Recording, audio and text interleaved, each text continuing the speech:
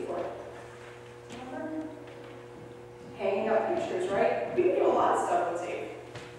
In two weeks, we're gonna do something special with this blue tape. Anyone know what we use blue tape for? Painting.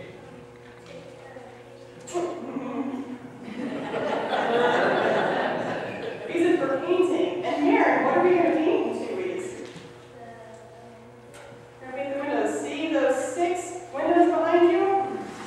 In two weeks, on Sunday nights, we're gonna use we're gonna tape off a scene that's gonna help us get ready for Advent and Christmas. We do this every year, the scene changes every year, and it's a way to help teach us a little bit more about the story.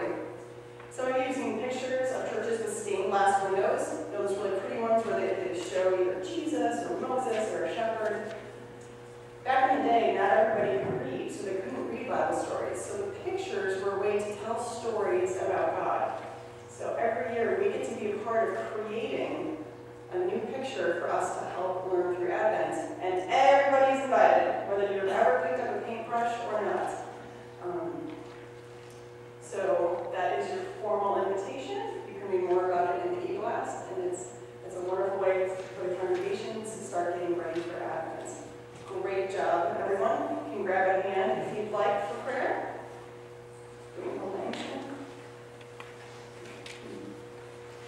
Dear God, thank you so much for the arts, whether it's music or poetry or um, art.